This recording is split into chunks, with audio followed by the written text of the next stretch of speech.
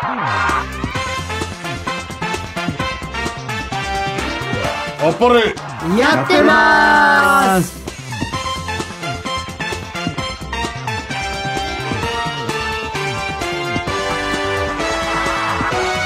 どうも剣道小林です。はい TM レボリューション西川貴教です。そしてえあはい。そしてラルクアンシールの哲也です。そして。AKB48 高橋みなみです。料理研究家の森崎ゆきです。はいよろしくお願いします。さあ、はい。この「あっぱれやってます」は毎週火曜日から木曜日までさまざまなジャンルのメンバーが90分にわたってあっぱれの内容でお届けします。うん。はいもう8月入りましたね。入っちゃいましたね。早い。早いね。8月か。4月であと4ヶ月で終わるんですか？そうです。今年も。ああよかっやたよかった。俺あの去年のねクリスマスツリー閉まってなくてまだ。えまだ閉まってないんですか？もうあと4ヶ月で。すじゃあ今閉まった損ですよ。そうそうそう。な損ですよね、よかった。もよくここまでリスマスや耐えましたねすごい今閉まったらだいぶ損やわそれ。確かに。そうやわ。あーもう。すぐそういう意味では全部出してた方がいい。ひな人形からさつき人形からね。全部出してた方がいいかもしれないいやでもえずっと置きっぱなしっていうかまあ飾った状態で。ずっと飾っても電気もつけっぱなし。そうだよピカピカピカその電気切ったら損ですよそれ。切りましょうよ。それもそう。そうもうすぐやねんから言うたら。そう。はい。まあでもねそんなよもうそんなそこそこ大きいものがですよあっても全然支障がないオタクっていうことでいや言うてもこんなんですよ。こんなんですよもうこんなんいや全体の尺からするとってことでしょ？この30センチぐらいで今表現されてますけど。もま全体のそれは全体あもうその広大な敷地の中が東京ドーム3ぐらいあるからまた始まりましたがセレブバンドとジェリー。7メートルぐらいのやつ。もみの木みたいのが。ちょっと今日は二人に口座の残り金額教えてもらいます。嫌です。残高を。嫌です。もう。ちょっとカード貸してください。残高だけ見てきますよ まあでもさ本当にあっという間にね1年もね折り返してからもうそんな経つってことやからね。やばいどっか行かな俺。今年アナのダイヤモンド逃すかもしれんな。前半 JAL で攻めだから。え？ああロケとかでってことかいな。でもそういうのさ例えば旅行なんかとかもだからほらこことかはやっぱ芸人の後輩とかみたいなんでこう何人かでこうやっぱ。そうなんですよ。だから航空会社にね俺もうちょっと考えてほしいんですよ。どういうこと？一応教育的に良くないということで、俺と日村さんはビジネスなんですよ、うん。あいつらエコノミーそのエコノミーも俺と日村さんが出してあげるんですけどあこれもちょっと教育良くないなと思ってもっとなんか貨物席に毛布一枚渡して 帰ろっていう席作った方がええんちゃうかあと思って。まあ確かにな、ん。あの向井治なんかは特にそうやと思うわ。向井治うん。あれし連れてかへんかったっけ？あ天使向井でしょ？天心向井。違うあれやんあれ？やんあ若井治若い若い治もびっくりした。俳優の方。さすがに俺向井治も貨物席でお前毛布いけたらようやくないさお天心と天心向井と若い治が一緒だって向井治ですよ。違う違う違う。若井治とか。いるやろ、はい。でもすごいねんで。あのアムロの格好のまんまで世界中回ってんのね。旅行行ってる時とか。仕事やん。すごいやんな、いやでもいいなと思ってそういうのでさみんな一緒にいたら動いたりとかするんとかさ森崎さんとかどうするんですか？なんかそういう旅行とか行ったりとかご家旅族で行ったり行あそう家族とも行くしやっぱ学生時代の友達とかと行ったり、はいやなかなかやっぱりね奥さんと子供いるからあうん。なかなか行けへんらしい。そう相手相手のああどういうこと？どういうこと？相手の方がね。相相手のほら今付き合ってるあ人奥さん子供いるでしょ？いないいないんだからなかなか旅行とか難しくて。なんでやねん。ないない。なんか。な夜しか会ってくれへんって言ってたあなんでや？ホテルであってホテルで別れるパターン。昼間気持ちいいですけどね昼間一回手繋いで歩きたいうわ。わあ夢ない。ささやかな夢です絶対ないから奥さんにバレたもう不倫は絶対嫌ですか？う嫌ですね。もうゴリゴリえもういやいやこれなんでやねん。聞き方が。いやいやもういいや？だって自分がもし結婚して、うん。そんなんされたらめっちゃ嫌じゃないですか。それはね。だから絶対嫌です。自分がされて嫌なことはしない。そうそうそうそうそう相手の奥さんの気持ちが分かったのようん。もうやめとこうって。いやいやいやいやいやなんかやっぱそういうのって。でもまあ世の中、多いと聞きますよ。聞きますね私もあそうう。んいや、めちゃくちゃ多いみたいですよ、不倫って。不倫ですへえ。やっぱり。哲也さんもしかしてそうなんですか？すると僕もねタクシー乗った時聞きましたねタクシーのうんちゃんに、なんて？なんか結構平日の昼間、うん。その人妻がうん。タクシー拾拾ってくると、うん。はで乗せると、んなんかもうあの運転手さんの好きなとこあえ連れてってくださいみたいな、そういうなんか人妻、うん。結構いますよって、え嘘？いいんだ。うちのおじさん、タクシー運転手やったんですよ。もうあの、死んじゃったんですけど、おっちゃんなんかタクシーの運転手さんやってて、なんかそういうことなかったんって聞いたことあるんですよ。いや、それ女関連のはな、俺は全くないねんけど、客と傘でどつき合いしたことあるって言ってました。ちゃんばらなってん俺の言われて、降りたらーって言って。傘で喧嘩したことあるって言ってました、お客さんと。でもあれもさ考えただったよ。ら怖いやんな。だってさ後ろにまあ見ず知らずの人まあそうですよ。やんか怖い。ねえ考えたら。うん。たまになんか透明のなんかバリケードみたいなのありますあまあまあまあまあでも実際あれでだいぶ減ってるみたいよ、タクシー強盗は。そうよ。うん。一時すっげえ多かったから。そうなんや。今日本もそうなってんの、タクシー強盗一時期めちゃくちゃ多かったんですよ。結構ある結構あるだからまあそういう意味ではねまあ人をね信じてね、まあその暮らしてはいたいですけどね。なんかそういうふうな国で。なんかだってほら今度のオリンピックもさ、はい。日本は世界一安全な国ですよみたいなことを歌ってね、うん。せっかく誘致してるわけやからね。まあまあでもまあ明らかに世界一かどうかわかんないけど明らかに安全な方は安全な方ですもんね。そりゃそうや。それはもそうかな。でもうちのおじさんタクシーでうチャンバラチャンバラ傘で喧嘩したからな。何があったんやろね何があったんやね。ですかね降りろって言われてんの。えいやでも降りたら降りたっていう。スリとかは少ないやんか日本ですか？あ置き引きとかね。うん。だって普通にだからおばちゃんとかもほら荷物どさっと置いたまんまで、どっかフラフラっとの「ちょお茶お茶いる？お茶お茶」みたいなんで、こうおばはん同士でなんかなあんたほうじ茶であんた番茶でみたいなの決めてどっか荷物取りに行ったりするやん。置いたまんまでお茶買いに行ったり。あんなんあったらな、ね。え海外ほんまスペインとかポルトガルとかバーッと持ってかれるけどヨーロッパとかに、まあでもおばちゃんのね、その置いてるカバン取ってもアメちゃんしか入ってないですからね。ほぼほぼ。アメちゃんと鼻の油拭くハンカチだけ。でも日本だけやな。そういうのとか見るとなんか、あまあまあほっとするけどね。安全ですよ思います。けどもはいということでございましてはい、あっぱれやってます。水曜日では私たち出演者へのメッセージをお待ちしています。そして、あっぱれデイズのコーナーへのメールも募集します。皆さんの周りで起こったこれはあっぱれだというエピソードを書いて送ってください。さらに、ハッピーバースデーのコーナーへのメールも募集します。誕生日を迎えたリスナーの皆さんの友人、知人や家族へのバースデーメッセージを送ってください。宛先は530-8304 MBS ラジオあっぱれやってます。水曜日まで。メールはやるすいアットマーク MBS1179.com たくさんのお便りお待ちしています。じゃあここで。ラルクアンシエルでエバーラスティング。お便りやってます。はい、このコーナー、ボックスから引いたリスナーからのお便りをしるくしゃべるコーナーでございます。それではまず一つ目のお便りお願いします。はい行きますよいしょなんでございましょうか？えっ、と京都府福知山市にお住まいのラジオネームハンドルディスさんからいただきましたはい。水曜レギュラーの皆さんこんばんははい、こんばんはこんばんは。早速ですが、最近とても暑くなってきて、食も細くなりつつある時期ですが、私は、手製の塩ラーメンを作り、そこに白髪ネギと水菜、もやしを入れて、少しラー油を垂らして食べるのにハマっています手前味噌ですが、あっさりしていてとても食べやすく、冷やしても美味しいので、暑い時期には重宝しています。皆さんは夏に無性に食べたくなるものは何ですか？教えてください。はー。これ手製の塩ラーメン？なんすかそれ。手製の塩ラーメン。製の塩ラーメンなんてそう簡単にはできないでしょ。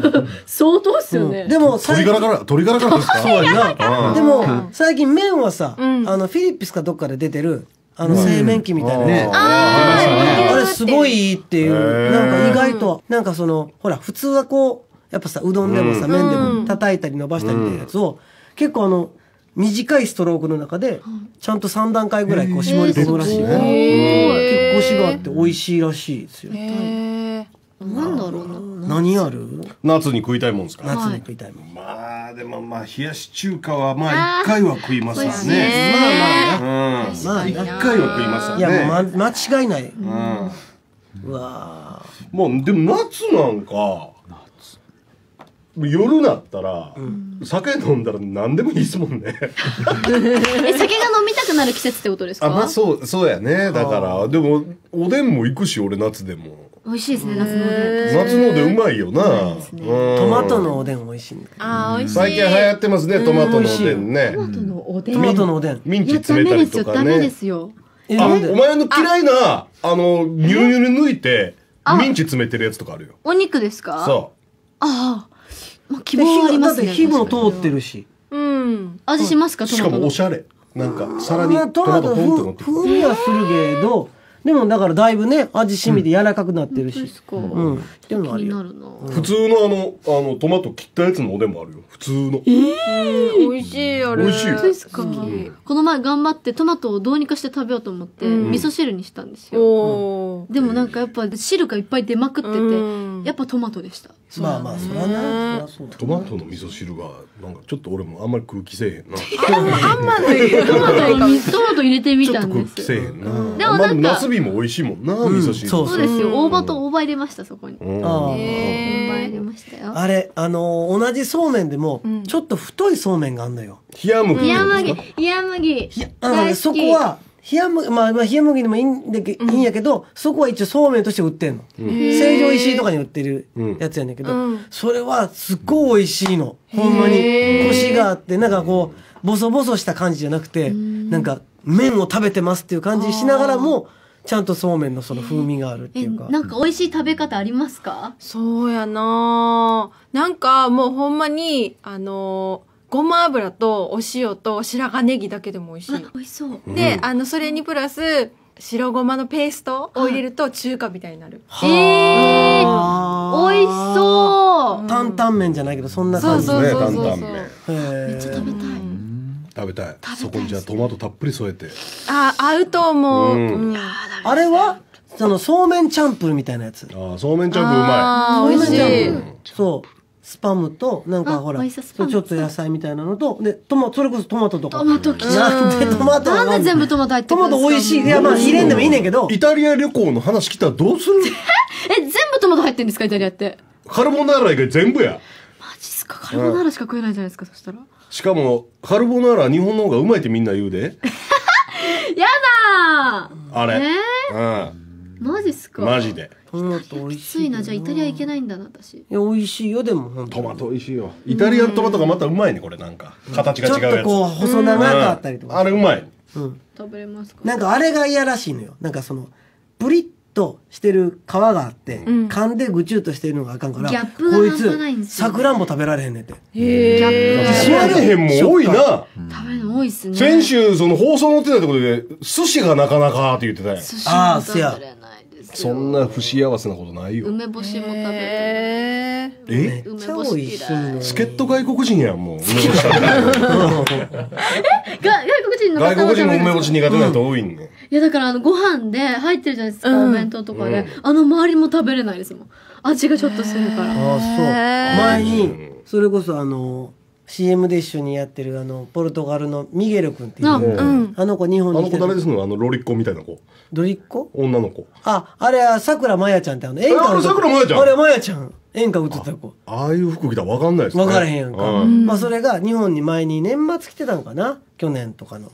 でその時やったからせっかくやし日本では年越す時にお蕎麦を食べたりするんだよって言って、でそれでなんかちょっと番組やったからお蕎麦と、でまあ日本っぽいものやから梅干しみたいなの置いてあって、でも梅干しえちゃうその時にあ船寿司や。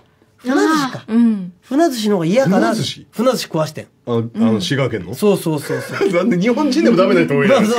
でもそばの方が嫌って言ってた。へえそば？そばの方が嫌そのなんかそうだしの感じが嫌なんやってあのタレがタレが嫌。透き通り透き通りすぎてるってことですか？違う違うなんか粘着性がないっていう。っていうかいやじゃなくてあのふ多分だしが嫌なんやと思うわそのだしが効いててそうそうそう。でもなんかで醤油もあかんのちゃうだから。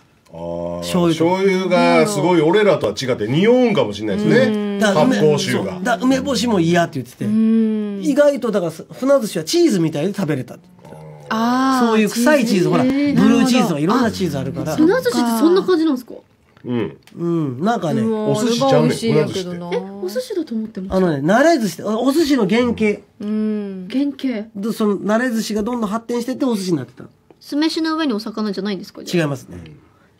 まあ簡単に言うたら腐らした魚や。うん。発酵した感じのなんかチーズっぽいやつ。乳酸でも乳酸菌いっぱいやで。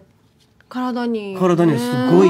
まあ AKB グループの女の子は多分5分の4は嫌いっていうわみんな。結構ですね。結構な若い子割結構あかんいやもっとあかんかも。もっとあかんかも。もう8分の1はもうあもうそうやな。もっとかな。16分の15ぐらいあかんってそうあかん。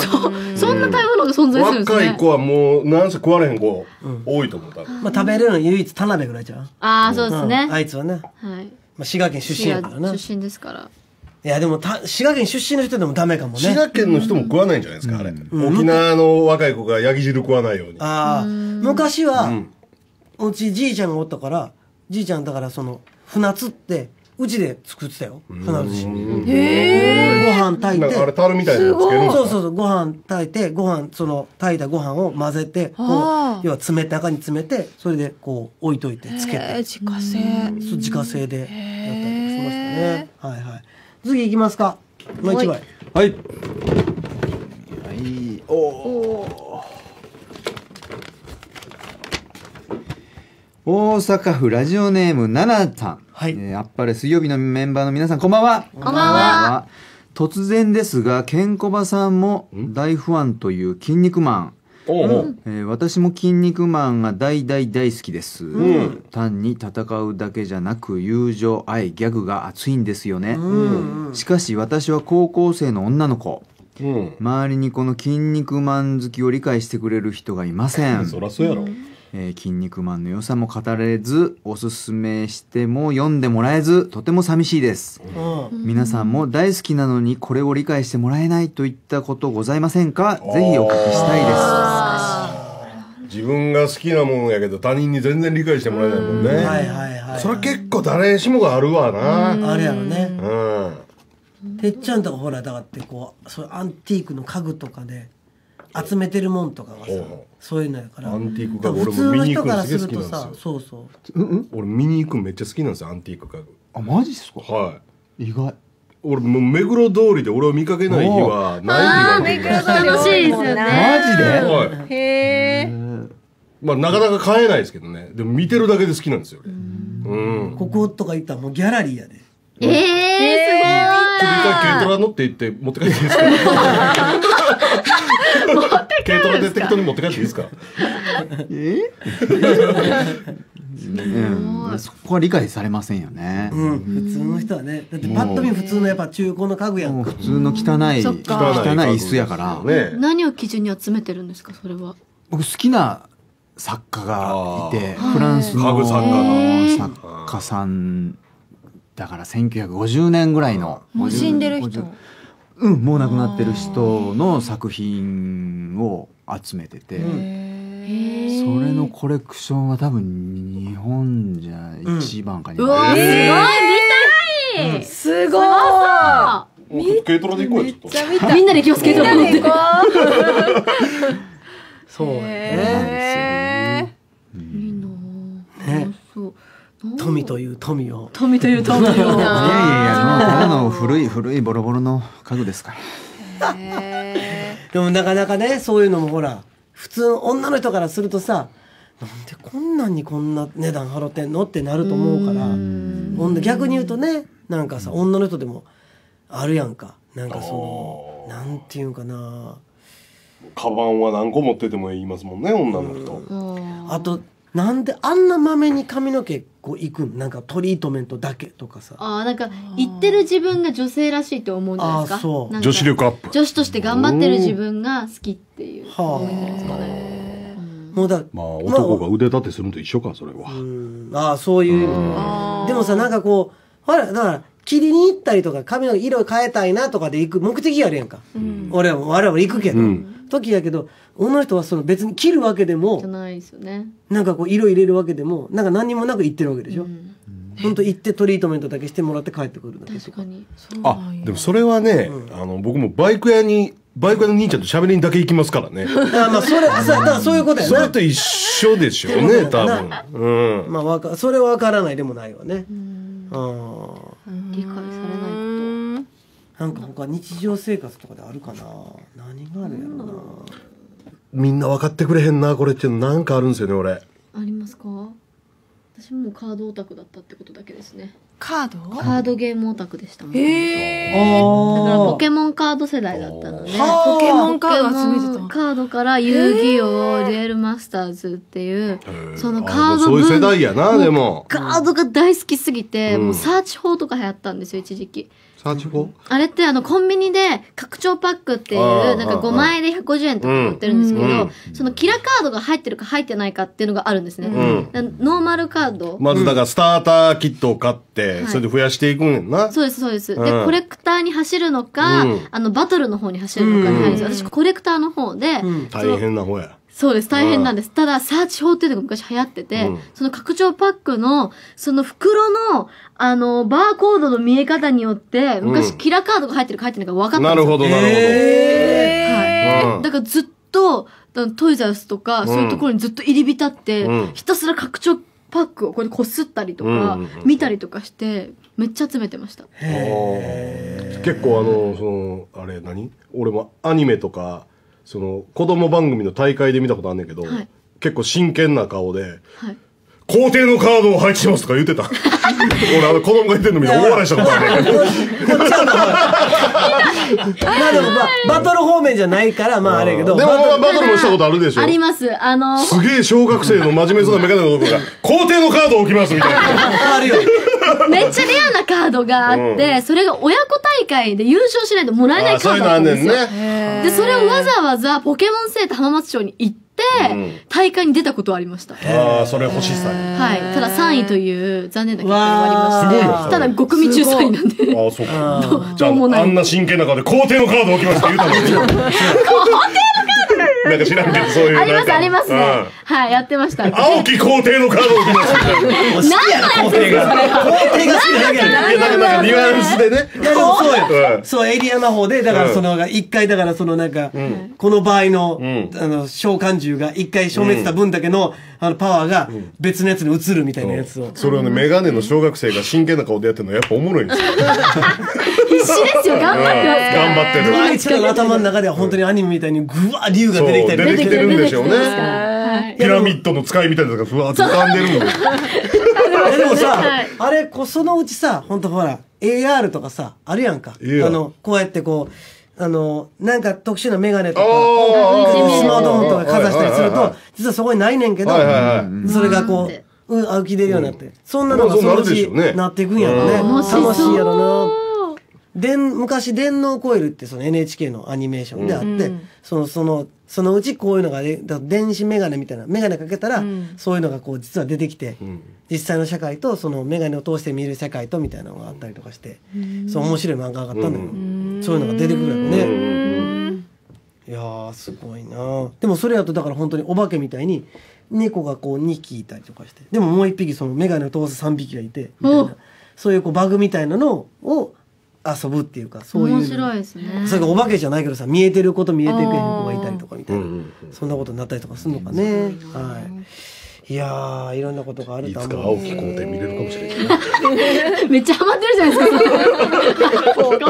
いや見える見える日が来るよ見える日がやってくると思いますよさあということでございましてこのコーナーで僕たちにおしゃべりしてほしいお便りを募集してますあさき森崎さんお願いします、530-8304MBS ラジオあっぱれやってます水曜日までメールはやるすいアットマーク MBS1179.com お便りやってますの係までたくさんのお便りお待ちしておりますはい、以上お便りやってますでした。はい、ということでここで一曲、本日発売 TM レボリューションで突き破れる。あっぱれデイズのコーナー。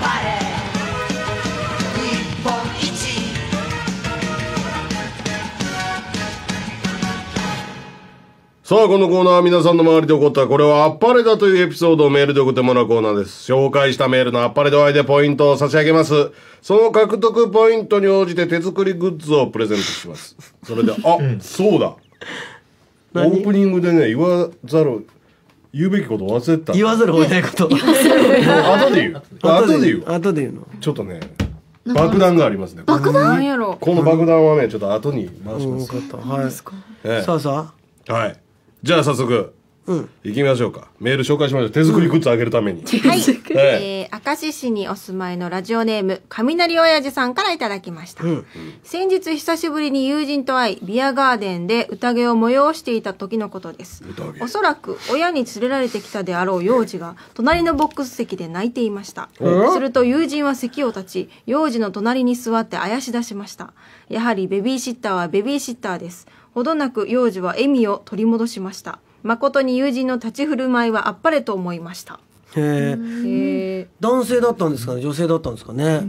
ね男性でもっぽいな。ベビーシッター。あ、そうか。男で？ってこと？かな。男同士で飲んでたのにうん。男の子が？っていうことか。はい。ベビーシッター。すごいな。へえまあ、コツみたいなもんはもちろんあるんでしょうね。そうねほら、なんつうの？女性なんかでもね、なんかほら、みんな勝手にこうなんか、女性はみんな子供得意なんじゃないかって思いがちだけど、そうでもないですもんね。ん苦手な人もいらっしゃいますもんね。あねあもちろんそうでしょうね。うん。子供にでもなんかヒゲの男の人ってさ、うん。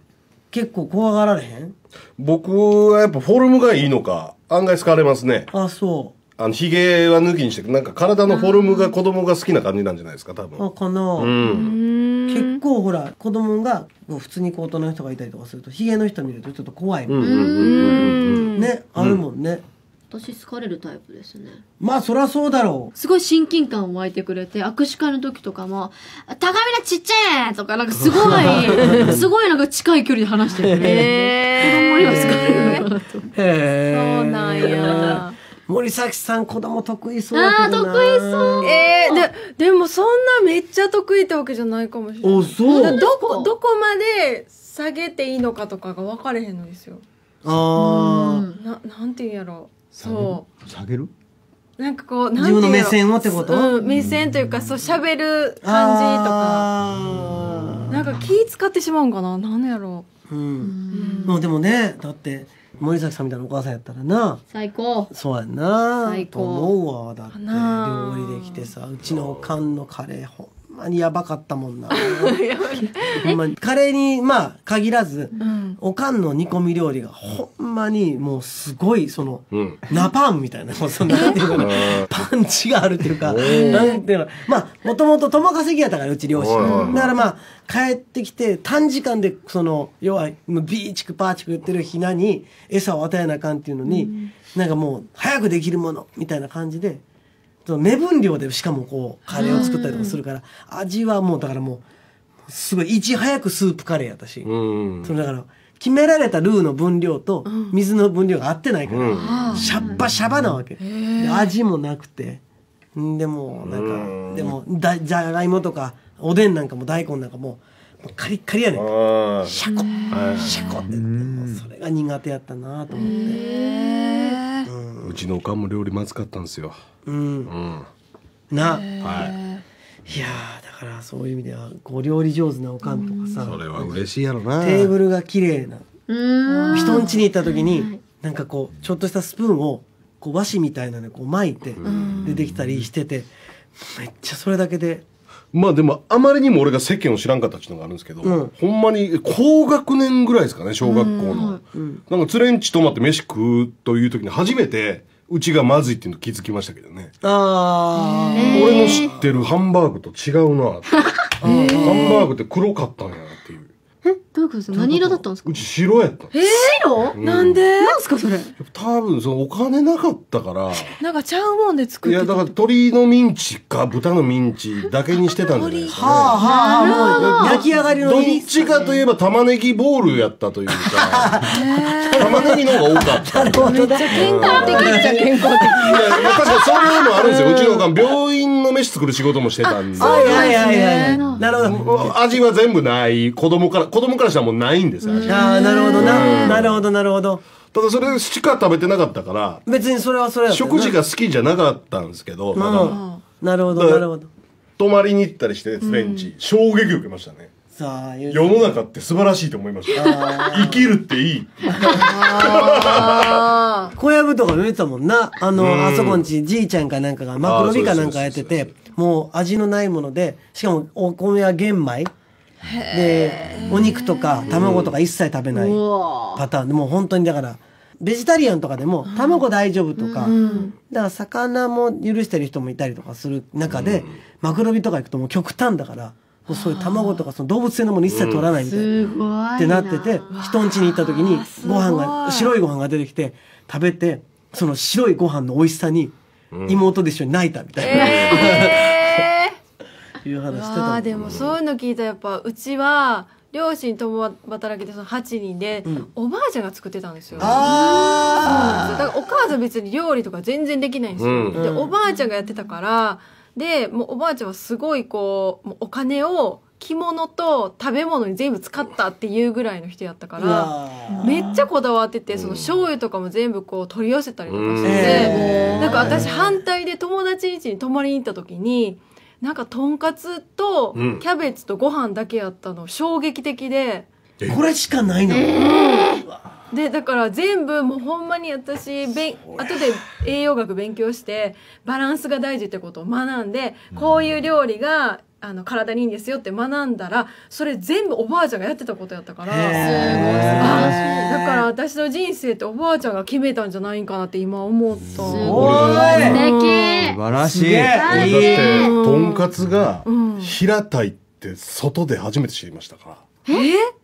どういうことですか？うちは多分そのとんかつ用の肉買ってきて、親父は酒しか飲まへん人やったんですよ、でいらんっていう。と、うん。だお兄弟3人うちのおかんが多分その金ないのをごまかすためにほん紅生姜かけてご飯食べて「お母さんこれ一番好きやねん」って言ってて、おかずは俺ら3人しかなかったんですけど、多分その1枚の肉買ってきてめっちゃ叩き伸ばして、切ってたと思うんですよ。こんなんをだからもううねうね。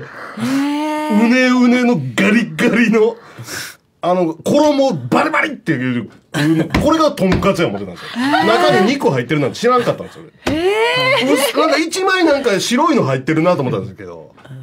だから連れの家泊まれてとんかつねって言われてうわ歯痛いあれ口の中痛いね思ってたらサックサクのジュージューのやつ出てきて、しょんべん出そうになりました。よ なんじゃこれってえー、すごいなそれ。低環境によるんですね。だから言うんですよ、俺は。高見菜に。嘘でも食え言うて美味しいもん食うほど素晴らしいことないぞ、人間は。っていう。すごく説得力が増しました。なんか食べようと思いました今、う食べます私。ただ単に口が痛いだけのもんやだからな。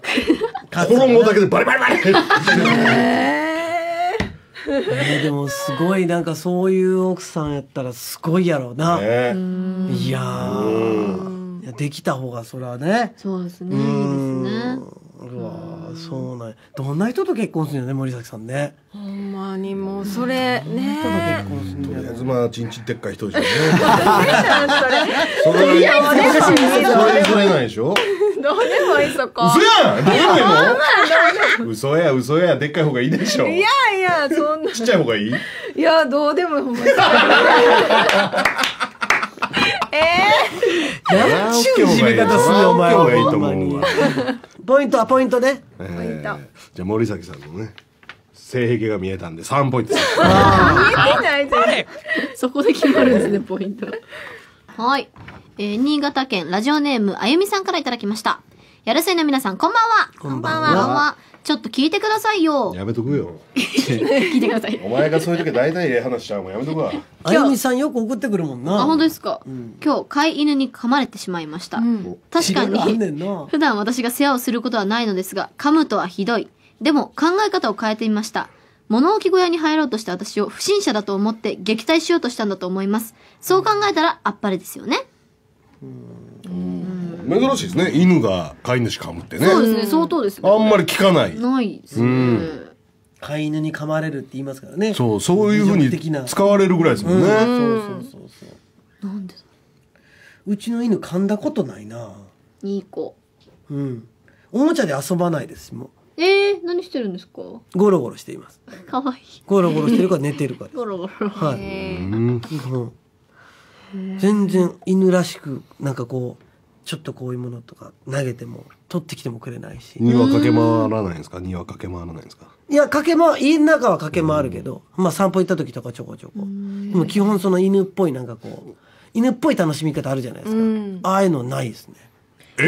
ー、犬ってどっか急に一点見てる時あるじゃないですか。あるあるある、あれもないんですか？あれはある。あれはあるんですか？あれはあるよ、ん。あれは別に楽しみではないやんか一番犬っぽいのあれが犬っぽいなって思うんですよ。突然た散歩してるやつが立ち止まって。あれ何なんすかね？なんなん？だからそれこそ、あの見えてるんちゃう？なんかそんなこと言う人もいますね。犬には見えてるみたいな。なんかだから軽快に散歩してたやつが ねいや家でもあるよたまに。家でもあるんですか？昔、昔っていうかあちょっと前かな、になんかそれがあって、なんか部屋のそのあらぬ方向に向いてこう、うん。うーみたいな言うてるから。ええまあそうじゃないですか。と思って気持ち悪いし、そうそう。でなんかまあいて家見てもらったことがあったりとかしましたよね。そういう人になんか。まあ言われました。まあでもいやそういうのでは全然なかったけど、別にそんなのなんかいたりみたいなことで。そういうこと言う人でもなかったし、でもまあ金のやつでお札もらったりとかしてこう、東西南北にお札貼って、でこことここにこういうお札貼りみたいな言われてやりましたけどね。それも全然気にならなくなりましたけど、なんなんでしょうねあの犬のあれねほんまに。なんだよなあの、霊的な話以外やったら何なんでしょうね。うん、ほんまに。っ突然ほんまにピタッて止まってね。そうそうそう。ん。て。あれなんだよな。ただ単に急にスイッチパンってきてボーっとしてるんですかねあれ。でも犬だけじゃ猫もあるから。あ。見てるんです猫もやるよ。猫もやるよるな。確かに。猫あんま印象ないな。猫やるよるやるよる見てるんですか？ですよ。うん、じーっと。だからこう、吠えたりとか、うーとかじゃなくて、ず見てますね。うん。やるやる。霊なのかね。そういうのがね。ねなんかね、なんかああいうの見るとさ、なんかこう、そういうの考えると、なんか、本当に、これ、まあね、一応こう、現世としてありますけど、なんかこれ、ほんまは、だから、なんかこう、コンピューターのシステムみたいなんで、ただ、お化け人が言われても、あの、バグなんちゃうかなとか思ったりしますけどね。コンピューターのシステム？なんかこう、ただ、いよいよ俺がモスクワにいて塩水ぶっかけるいや行く、行く時が来たかもしれん。ええ。わからんけどね。まあまあ。さあさあ、さっきの何やったっけ？物置小屋に入ろうとした私を不審者だと思って撃退しポイントどうしますか？これちょっとかわいそうなんでね1ポイントああ。いいよ厳し。い1ポイントそうね。まあはい、ということでございまして。じゃあこのコーナーでは皆さんの周りで起こったあっぱれな出来事を募集します。宛先を森崎先生。はい、530-8304 MBS ラジオあっぱれやってます。水曜日まで。メールはやるすいアットマーク MBS1179.com あっぱれデイズの係までたくさんのお便りお待ちしております。以上あっぱれデイズのコーナーでした。さあということでこれ曲の方が。ありがとうございます白ぶり白ぶり男の。違いますよ。違います。のプラカえ？し白ぶりのプラカードって何ですかそれ何ですかその曲。この白ぶりです違います違います。AKB48 で心のプラカード。じゃあここちょっとねメールの方が届いてるんで。ちょっはいはい。お。と読み上げようと思います、はい。吹田市ラジオネームペチュニア、やるすいの皆さんこんばんは。こんばんは。私も哲也さんが好きなのでもう少し声が聞けると嬉しいなと思っていました、そこで哲也さんは雑誌やライブなどで海外ドラマ映画家電食べ物など詳しいように思ったので哲也さんが今注目しているものを紹介するというコーナーはどうですかと。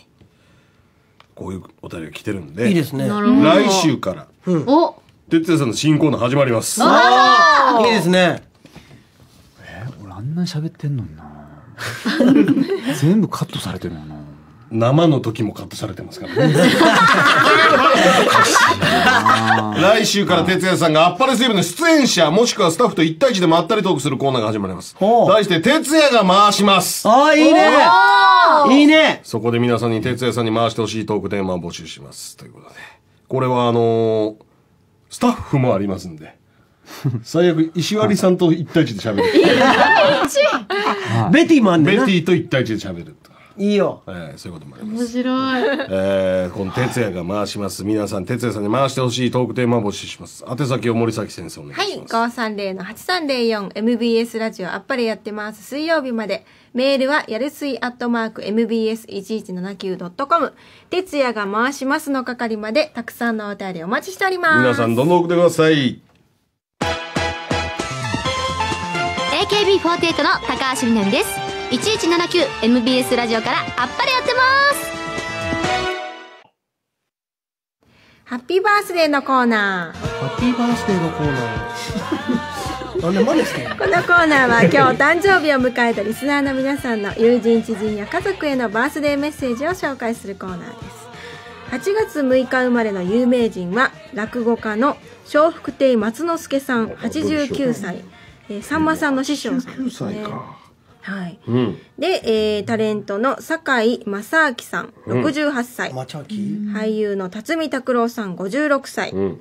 元プロ野球選手の古田敦也さん重鎮が多いな。49歳、タレントホッシャンさん43歳、タレントのさかなクン39歳。女優の沖縄めぐみさん35歳です。なるほど。それではリスナーの方から届いたバースデーメッセージを紹介しましょう、はいはい。えー滋賀県にお住まいのラジオネームエリナさんからいただきました。エリナ、エリナ。8月6日は私の5つ離れた姉の誕生日です。お姉ちゃん24歳のお誕生日おめでとう。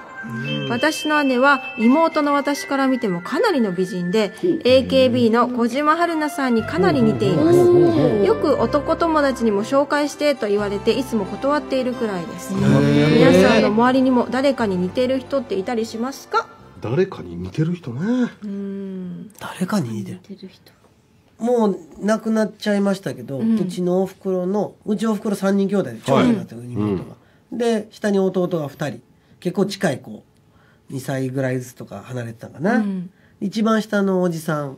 もうおじさんって言うたかってね僕らちっちゃい頃だからもうくろまだ21の時の子供でしたから、幼稚園とか小学校でもまだ全然下の弟の人まだ10代後半とか20代前半とかやったんですけど、おじさんって言ってて、のりちゃんおじちゃんって言ってて、まあ、この間まあ亡くなっちゃったんですけどそのおじちゃんずーっとね誰かに似てるなと思ったんですけど、あのコント赤信号のはい。3人さんやって、小宮さんってやってたはいはい。MC 小宮さん。MC、はい。そうそうまさに MC 小宮、うん。小宮さんが MC 小宮になった時の MC 小宮にそっくりやって。ということは、ちょっとハマーに似てるそうそうそうそう。ハマーよりやハマーよりの。うんそうそうそうそう。ありましたね。ちょっとこうテンパ気味でなんか短めでみたいな。ありましたね。それぐらいやな。誰も似てなかったうちの家族。うちの親父ね、意外なことで結構ちょっとかっこいいんですよ。見たルックスいいんですよ、うちの親父。うちの親父もね、なんか、あの人、アタックチャンスの、あ児玉清さん。児玉清さん。俺の永遠のお父さん児玉清さんと見た目一緒なんですよ。ええかっこい今、い今になったらもう白髪やし、うちの親父。見た目全く一緒。俺もほんまかっこいい昔の写真見てもね、親父かっこいいんですよ、なんか。へえいいなだからおかん結構、なテクあったんかな思って。よう捕まえたの、親父っていや。可愛かったんじゃないの？あ、おかん、若い時可愛かったのかなうん、まあ若い時は可愛かったんでしょうね。うん。誰かいる？てっちゃんとかとか。親戚家族とそこは、あのね、若い時の記憶失っても親戚は後でありますもんね。いや親戚自体あんまり会ったことない。バカは本当にだから、お年玉とかはあんまりもらえんくって。ああ、うちもね、少ないんですよ、お年玉。逆にさ、うん。なんかさうち妹の子供だから甥っ子ん。とかが、うん。だから俺それこそ自分の親父とかよりもそのお袋型のおじさんの中のそのまあ3人だから真ん中の方のお兄さんにすごい似てるって言われたことがあったりとかしてて要はこう飛び飛びで似てるみたいな。ああそういうのはね、あって、だから、うちの妹のその甥っ子が、すんごいちっちゃい頃の俺に似てるらしくって、うちの母ちゃんがすごいこう溺愛するわけ。他の子供らいっぱいいるのに、その子だけ可愛がるから、なんか他の子がすねるぐらい可愛かったりとかしてて、なんかその、なんかてっちゃんに似てる親戚の子とかいるんちゃう？俺も今の話と一緒で妹の子供？お甥っ子が生まれた時すんごい俺に似てるあー似てるって言われね。不思議やんな、なんかな。面白そう、あんのよ、なんか。うん。飛び飛びでなんか似てくありますね。そうそうそうそうそう。へえ。だから、え、いくつぐらい今で？今ね中中1になった。ああ、もうでも、そこそこ大人やもんね、もうね。あでもね全然みまだ背もそんな高くないからうん。全然なんかまだ子供な感じま。あ俺の中では。まあまあ、そうね。こっちがほら、だって生まれた時から見てそう生まれた時から見てるからね。そうそうそう。そう。びっくりするよ。俺もこの間だって、その、まあ、上京したりとかしてたけど、高校生になって。ん。そうそうそう。なんか、信じられへんもんな。だって、生まれた時、あんなやったのに、ね。なんか、チュッチュチュッチュしてたのにチューもしてくれへん。せやわ。確かに確かに。えー、誰かいないですか？なんか。えー、まだ子供生まれてないんですよね周り。あ、ほんまに？そうなんですよ。だからそうやな。逆になんか自分の周りでとか、うん。自分に逆に「あんたあの子に似てるわ」みたいなこと言われたりとかしてなかったんですか？なかったな。でもなんかね、うん。お父さんとお母さんどんな顔なんやろな、うん。信じられなかった。可愛らしいやんか。お母さんは中村玉緒さんに似てますね。えー、ええ。だからなんかあの仕事で一緒になった時はお母さんいてるみたいな感じしました。横で。へええー、そこまで。喋り方とかも、そうなんです。関西やし雰囲気的に天然すごい天然なんですよ。ああいやもうほんと天然で玉尾さんはやばいもんな、うほんまん、いや一回ね私ねお母さんやばいなって思ったことがあって、私大学の時寮に入ってたんですよ、うん。で寮に入っててで友達ん家に遊びに行ってて門限が8時50分だったんですよ。ほうほう、うん。めっちゃ早くて、うん。で、えーなんかもうすごい遊んでて忘れてて時計見たら9時だったんですよ、うわやばいってなって、うんほんであの携帯に友達が「いやいやすごいやばいことになってんねん」って、今寮の中で放送かかってて森崎帰ってないみたいなのなってんでみたいな、うん。やばいから一回帰った方がいいでみたいな話になって、うん。わどうしようと思って。でその時その友達とかみんなが「あ実家に帰ったってことにしたらいいんちゃう?」みたいな話になって、うん。あそれいけると思ってで電話お母さんに「いやちょっとやばいことになってるからあのーどうしよう」みたいになって「あお母さんに任しとき」とか言うんですよ。うんで「えそえうんじゃあお願いするけど大丈夫?」みたいな「大丈夫大丈夫」みたいなのがあって、で切ったんですよ。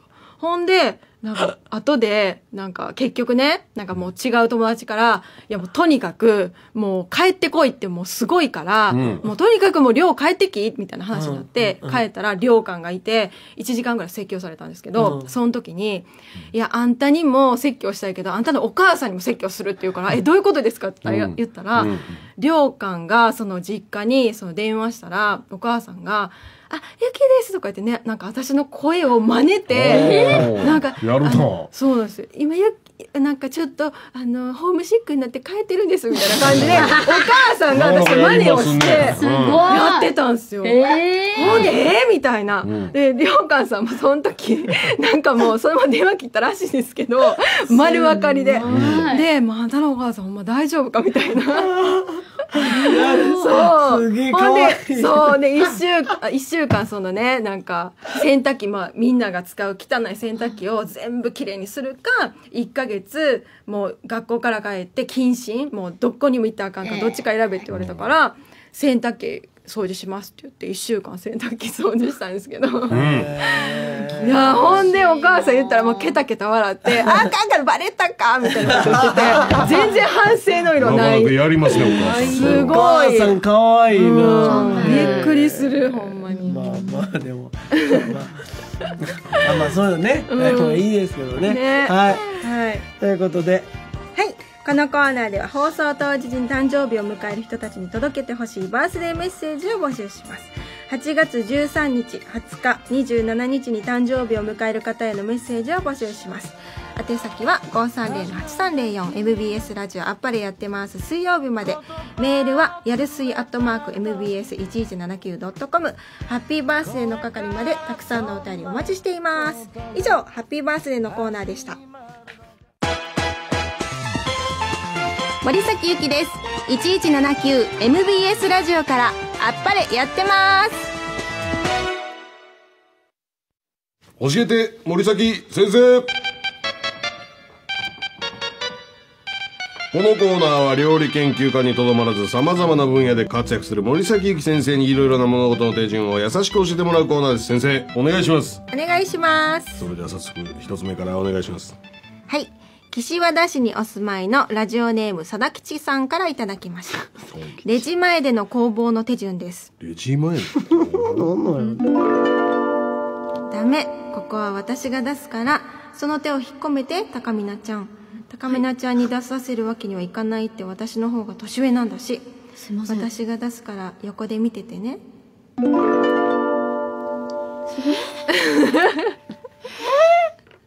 佐々吉得意の。切り口か。不思議とね高見菜が出てきただけでブリーフのおっさんが登場しない。全く登場しないじゃないですか。おかしいなね。私が困惑して終わったじゃないですか、多田さん。今日来てないんちゃうだかあ、マジっすか、らうん。あれ次私なんですけど、これ、もう可能性低い来てないでよだから。本当ですか、うん。これでも逆に言うとこれで引っ張り出してたらえらいことになる。でそれはある。力量が試されますね、これはね。じゃあいきますね。岸和田市にお住まいのラジオネーム、佐田吉さんから頂きました。後輩のシェフを育てる手順です。もうこの段階で赤いまあ出てもうもう白ぶり来ないですよ。もうなんでミスるんです石原さんだっかて神じゃないんだからちょっと私今頑張ろうとしたのに。人間は誰しもミスがあるもんなんで必す死見てごらんね。必死で手で顔な顔が3分の1も隠れてなかった。結構分厚いなガラス越しなのに、はははって言ってるの聞こえましたもん。え 一応、お願いします。お願いします、うん。じゃあ小林くん早速自分なりにやってみて。先生は適当なところで加えてあげるから。あれ？緊張してるのかな？すごく硬くなってるじゃない。こんなに硬かったら大変だから。今日は先生がしてあげるのでちゃんと見ててね。ああもう。ああもう。入り口ミスったからやこれ。入り口ミスったからだわまあなこれはちょっとな お前だけの責任じゃないわな。じゃないですようん。いやこれはもう言っていい、ね。言っていいパターンのやつ。いやこれは高橋みなみ総監督の責任じゃないですか。なんでですかあれ？入り口ミスったもんトゥルルンって2回かけましたもん。石原さんがな。石原さんは全然そんなこんなこと人間誰しもあるミスですから。急に。お前お前先週とかまで死んだら変なやつがやった。の。に石原さんだってね神じゃないんだから。急にやもん。すいません。というかまあ人は誰しも失敗する。それをフォローし合うのがこうチームというもんじゃないですか。そうっすね。なんかすいませんでした。いやいやいやまあ分かってくれた初心の気持ちを思い出させられました。うんそうそうそうそうありがとうございます。すいません。もう今日はでも逆に平和でいいんじゃないですか？白ブリのおっさんも来てないしねそうなんですよ。もともと白ブリさんはいないってそうそう方です。そうそうもうそうそれはそうだそうだったわ。いることなんかだって最初からだってあれ自体がバグみたいなもんだからじゃ ダメだからそうだそうだ。最後もう一個あります？最後。はい。行きましょう行きましょう。和歌山県にお住まいのラジオネーム、和歌山県。和歌和歌山県。時間縦断ホテルキルフォルニアさんからいただきました。ホエールウォッチングの手順です。はい。それじゃああそこをしっかり見ててくださいね。そろそろ出ますよ。ほら、いっぱい吹いてるでしょ？あ、顔にかけてほしいそんなに近づいたら体にいっぱいかかっちゃいます。体じゃなくて顔にかけてほしいほら、汚いから口を開けて飲まないの。口に出してほしいじゃあ次はオスが吹いてるのを見ちゃおうかな。おどすいるじゃないですか。いるやん。全然いたなめっちゃいたやん。全然いないよおーいなかったよいや、いましたよ。いなかったよ。今の俺や。お前か マジっすか？あれ今の俺や。あ、そうそうなんですか、うん。なんか声がなんか似てたから。何納得してんの？さあというわけでこのコーナーでは森崎先生に呼んでほしい。さまざまな手順を募集します。あず先を先生お願いします、530-8304 MBS ラジオあっぱれやってます。水曜日までメールはやるすいアットマーク MBS1179.com 教えて森崎先生の係までたくさんのお便りお待ちしております。以上教えて森崎先生のコーナーでした。天童小林です。1179MBS ラジオからあっぱれやってます。まるまるとはのコーナー。このコーナーは私高橋みなみが秋元康先生からいただいた言葉 AKB48 とは高橋みなみのことであるにちなみまして秋元先生が他にも言っていた〇〇とは何々のことであるという言葉を紹介するコーナーです。それでは早速一つ目から紹介しましょう。えー神戸市にお住まいのラジオネーム天然果汁0%さんからいただきました。秋元先生が言っていた言葉女子とはなぜかデート中突然不機嫌になる生き物のことである。あなんかある。何やろあれ。ええー、ある？ありますか？あるな。あれ何やねんやろ。え楽しいじゃないですかだって。いやわからん。でもあんねん。そんなことでみたいな。なんか理由もようわからん時ありますよね、うん。タイミングも。なんか急に喋らないようになったぞこいつみたいなえめっちゃ気まずいじゃないですか。でも多なんか分多分何かしか原原因があるんやと思うんだけど、なんかあるんですかね。それはこっち側はもう全然そんな意図じゃなく、言ってたりとか、振る舞った行動を、なんなんあれ？みたいな。え、何起こってんの？全然分からへんねんけど。そうそういうもんやんかって言うてもいや私とおる時ぐらい我慢してくれてもいいでしょみたいなそういうとこがあるんじゃなないんですか。だろう。えそれは取り戻せるんですか？デート中にその不機嫌さを。まあまあ結局飯食ったら忘れとるけどねめんどくさいっすね女の子でもそういう人もいれば、もうその日一日おじゃんになったりとかするパターンもあるよありますねあれ乗りますか全然乗ったことないいや絶対ありますよ本人は忘れてると思います、自覚がないんや自覚がないんやと思いますうんまあなんせまあやっぱりどこまで行ってもやっぱお姫様というあれがあるんじゃないですか。一日中持ち上げてよみたいな。もうえでも俺なんかやっぱこそこそするのが嫌やから、言うんですよ。女の子にも、あああの子見てみ？父でか？とか言って。あそそれはダメだ。でもそれを思ってて言わへんことが俺はなんかこう心苦しい。それ言わんで 言わんでそれまでちょっと耐えましょう、うん。それはな。でも思ってるんですよ。まあまあまあそれ心の中で思ってればいうん。いんですよ、大丈夫です万よが一相手がテレパシストやったらどうするの？今思ったよね、でもなんかこの間たまたま車乗ってて。うん。で最近のやつほらカーナビでさ線引っ張ってきたら、そこのオーディオの中のディスクじゃなくて iPod なりなんか他の携帯とかからそこから引っ張って車で鳴らせられるみたいになってるから変えたいねんけどそれは前までのその3とか4ぐらいまでのやつか、あの細長い口やったわけ、それをだからあの今の5とか 5S 用の口の細いやつに変えたくて、アップルストアの前で止まって後輩に買ってきてもらったわけ、その、あの変換のやつだけ口のところだけ、でそれ待ってる間車の中でずっと待っててしたらもうその横で、ん。めちゃくちゃ外国人の男の人と日本人の女の子がその、まあ、窓は開けてないから分からへんねんけど、ずっとその同じように。もう帰るみたいになってて、それを男の人がずっと、いや、だからさ、なんだからもうやめようみたいな。もうな別にもう、なんかもう帰れ、もう面白くないみたいな。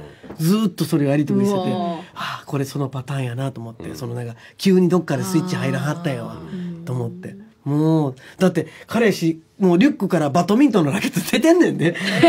代々木公園かどっか行ったはったんやわ。さっきまで楽しかったんやで。めっちゃ盛り上がってる。めっちゃ盛り上がってて、絶対。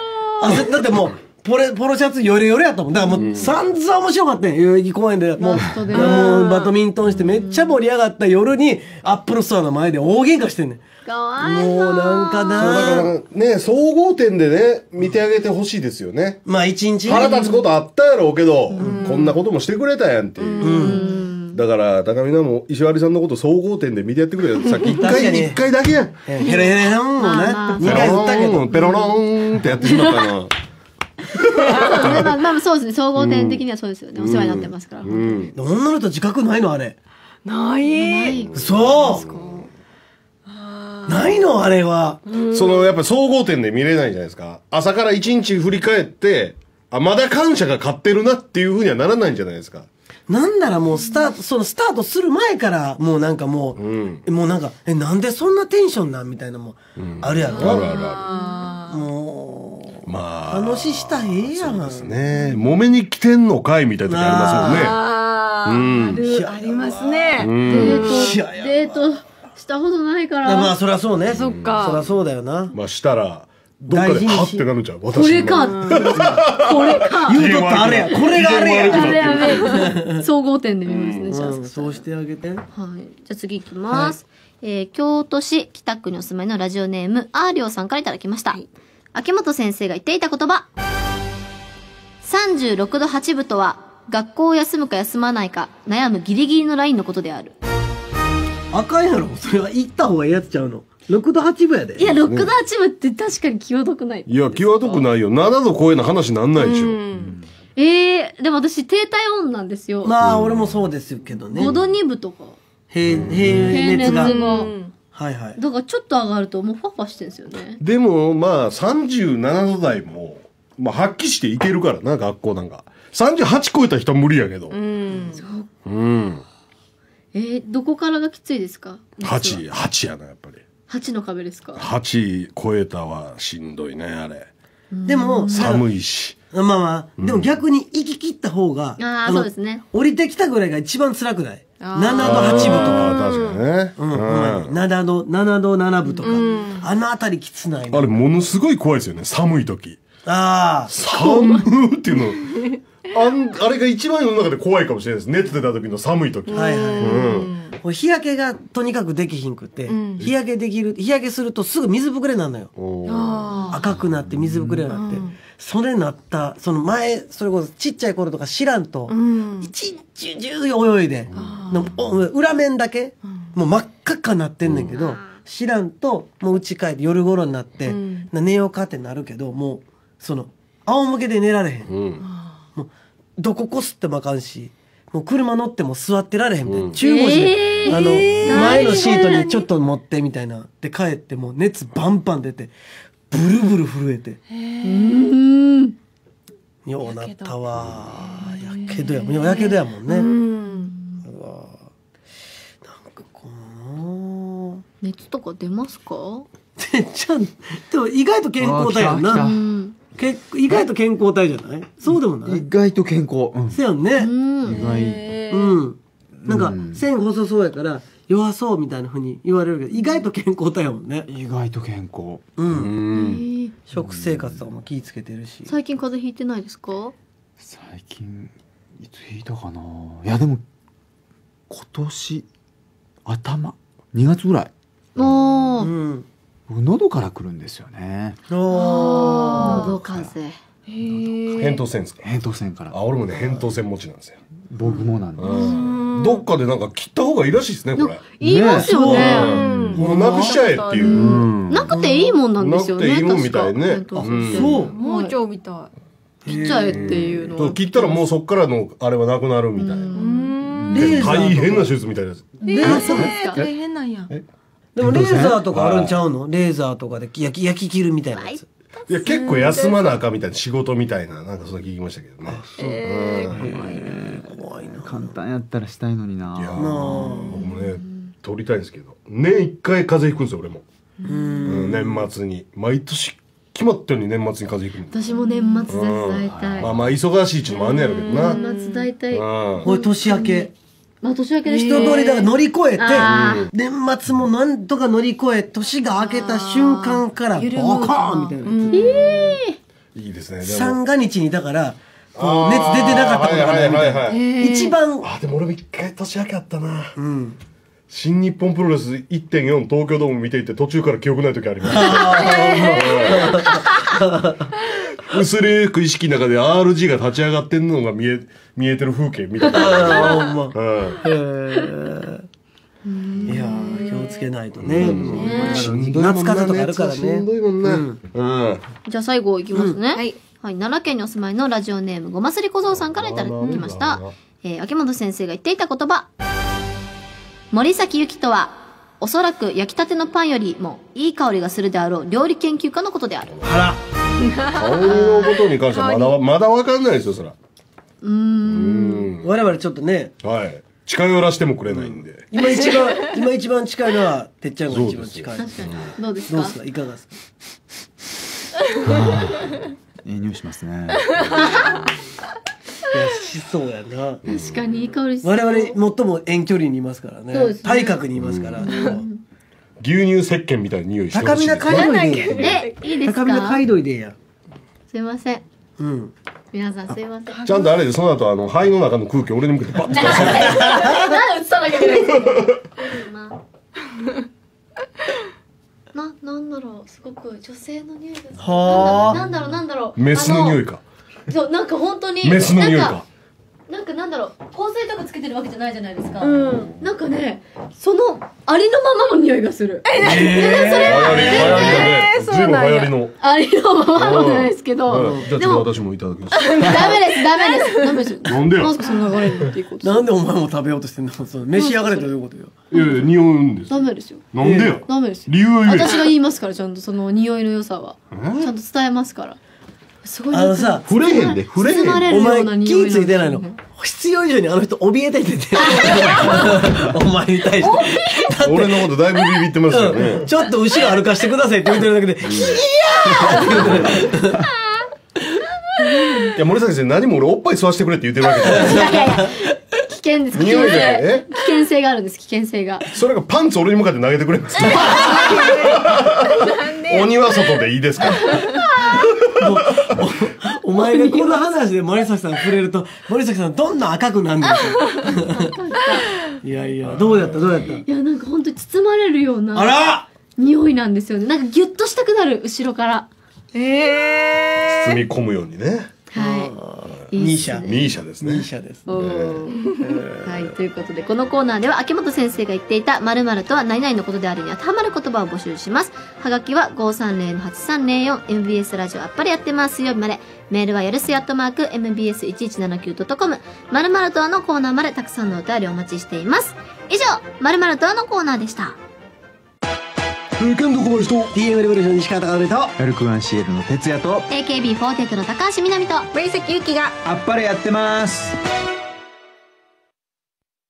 さあエンディングなんですが。西川さんの。はい。お知らせからえー本日8月6日は、えーシングル「 Time to SMASH 突き破れる」のリリース日でございますけれどもすで、えー既に9月の3日にニューシングル「 Phantom Pain」はリリースでございますよろしくお願いします儲けるわこの人はい。いやいや、もうそんなもう皆様のために。えー、で、9月の13、14、えー、イナズマロックフェスもございますし、えー、10月の11日には、えー、NBS やニューフェアスございます。えー、いろいろありますので、よろしくお願いします。素直さんにねお金行くようにしてくださいよそれはもう、自分で頑張ろう、すなさあ、ラルクアンシエルから。はい、えー、来週ですね。来週8月13日に新曲 EVERLASTING が発売になります。そしてライブブルーレイ DVD ラルクアンシエルライブ2014アット国立競技場が11月12日に発売になります。ブルーレイ DVD それぞれ完全生産限定版と通常版の2形態で発売になります。えーそしてソニーが発売するブラビア 4K テレビとラルクアンシエルがコラボレーションライブブルーレイ DVD リリースに先駆けソニーのショールームと、えー全国約1800店の家電販売店量販店にて、えー 4K ダイジェスト映像が放送されていますのでよろしくお願いします、はいはい。AKB48 は8月18、19、20と3日間 AKB48 グループ東京ドームコンサートを行います。AKB48 だけ単独もあり、そして全グループのコンサートもあります。ぜひチェックしてみてください。そして AKB4837 枚目のニューシングル、心のプラカードが今月8月27日に発売になります。ぜひチェックしてみてください。まゆゆがセンタはい、まゆちゃんセンターです。ー。ね。ぜひ聞いていただけたら嬉しいです。森崎さんは？はい、えー私の料理教室ユニティバゼンダではトルコ料理教室を開催中です、えーご興味のある方はブログの方をチェックしてみてください。よろしくお願いします。トルコ料理ってあれですか？ヨーグルト入れるやつですね。ヨーグルトもそうですね。肉煮る時にね。はい、うん。でスパイスをめっちゃ使うから。ああだからあれなんですよね。それこそ東洋と西洋みたいなね。そうなんですあそこよ三大料理の一つ。はい。え他はトルコ料理と？他は？フレンチ中華ですか？そうですそうです。そうですああなるほど、トルコね。行ってみたいな。カッパドキア。いいですよトルコ、だから基本親日の国なんでねあそこ、そうです、ね。親日でうん。いい国です。いやあ先生に来てますよ、はい。メールが。名古屋市のゴンタ。はい、こん。にちはやらしの皆さんこんばんは。こんばんは。森崎先生質問です、はい。えー森崎先生の、えーおっぱいの形をちゃんと教えてください。どういうことや？最後の最後ですごいね。あ全然違いました。私は料理をよくしますが。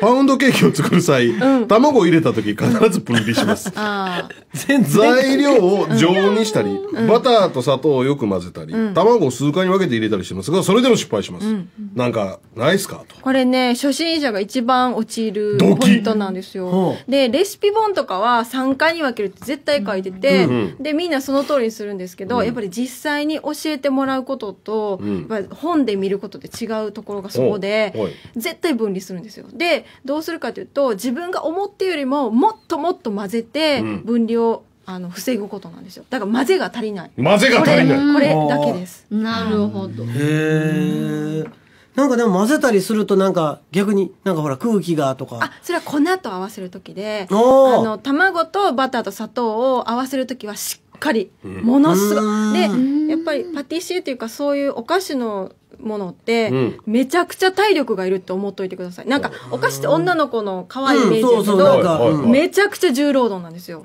だからすぐやめますああ料理よりも。料理は。で、なんか調理師さんで、例えばはい。ホテルに就職したら、例えば80人最初に入って3年後何人残ってると思います？80人 ?80 人入って3年後。正直778人ちゃいます？うん、思いますよね。何なんでね人一応就職してんだから。うん。そうです半分から半分ちょっとぐらい多いぐらい思うでしょ、う。ん。現実3人なんですよ。えもうそれぐらいきついから、もうほんと大変なんですよ。80人から3人になんの？何になります。確かにずっと混ぜてるイメージはありますよね、お菓子とか。検証になりそう、うん、大変なんで。なるほど。じゃあそこできっちり混ぜきってちり混ぜて、で、後で、えーと粉でふかっと。絶対振る、2回振るってくださいね。じゃあゴンタさん。はい。諦めろも何ですか？どういうこと？てそそれをなりわいにしようとする人ですらやめるねんで。ほとんどの人が。素人が手出すなっちゅうことや。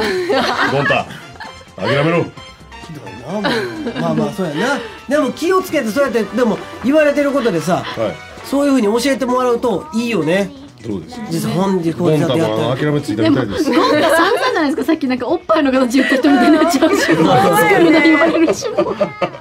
そうですね。そういえばさっきなんか読みかけたやつこれかいなあ違うんです。あのー哲也さんの新コーナー。あーそういうこことちらもねぜひ皆さん哲也が回しますの。で徹夜が回し哲也さんが誰かと喋ってほしいテーマを書いて、抽選でいくの。うん抽選でいきます。んでそのタイトルそれでいくんですかね哲也が回します。もうちょっとどしもんで書いてる またないよね。タイトルはどうかな、はい仕方ですぜひこちらの方もね皆さんアイデアの方送ってください、えーまた来週お会いしましょう。さよなら。あー